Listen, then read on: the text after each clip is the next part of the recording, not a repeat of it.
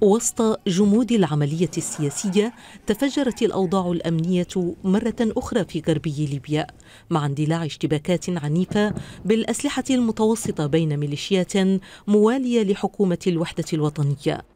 وأفادت مصادر ليبيه بأن منطقة دحمان بالمدخل الشرقي لمدينة سبراتا في غربي البلاد كانت مسرحا لمواجهات هي الثانية في غضون أربعة أيام بين ميليشيات دعم الاستقرار وميليشيات دعم المديريات بسبب الصراع على النفوذ.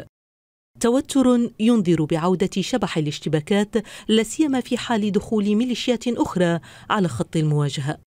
يأتي ذلك متزامنا مع حراك سياسي بدأ متعثرا عقب فشل البعثة الأممية في ليبيا برئاسة عبد الله بثيلي في عقد اجتماع بين رئيسي مجلس النواب عقيل صالح والدولة خالد المشري في مدينة الزنتان غربي البلاد. وعزت البعثة قرار تأجيل اللقاء إلى دواعي لوجستية فيما اتهمت أطراف الليبية حكومة دبيبة بعرقلته. ومن المتوقع أن يلتقي عقيل صالح والمشري بداية الأسبوع للخروج بحل توافقي للأزمة.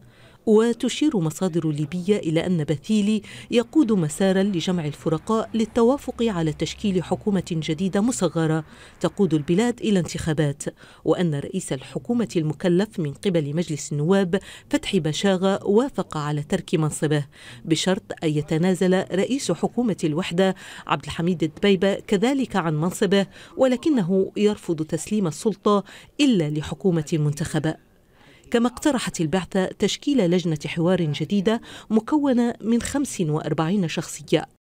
حراك البعثة الأممية على الصعيد الداخلي والخارجي قوبل بدعم أمريكي حيث أكدت السفارة الأمريكية في طرابلس أن واشنطن تدعم جهود بثيلي لجمع الفرقاء وحثت الليبيين على اغتنام فرصة التوصل إلى حل ليبي ليبي.